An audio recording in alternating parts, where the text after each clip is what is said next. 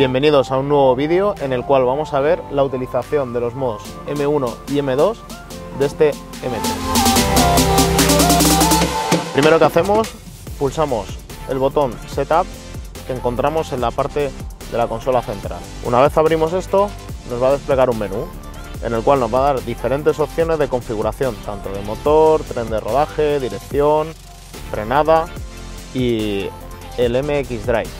Este coche podemos llevar tracción a las cuatro ruedas, tracción a las cuatro ruedas de una forma más deportiva pasando más tracción a la parte trasera y desconectarlo completamente todo y dejarlo en tracción trasera. Ahora bien, nos obliga a no tener controles de tracción activos. ¿Qué vemos? Configuración M1. En el momento que yo le pulso el botón M1, el coche deja grabada esta configuración. Tenemos el motor en Efficient, caja de cambios, más suave, todo confortable, toda la tracción encendida y el coche en 4x4. Si nosotros le pasamos a M2, en la pantalla me indica que si estoy seguro, ya que vamos a desconectar los controles.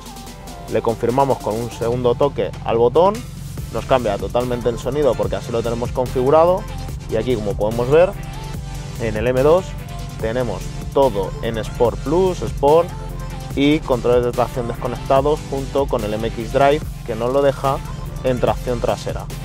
Y aquí podemos tocar el ángulo de ayuda que queremos, más apoyo o menos apoyo, cuando el coche nos va a hacer un grip.